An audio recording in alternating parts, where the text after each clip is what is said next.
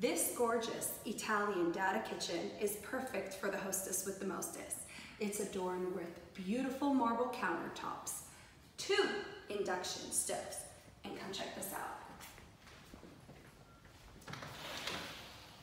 A walk-in refrigerator. And there's another surprise over here.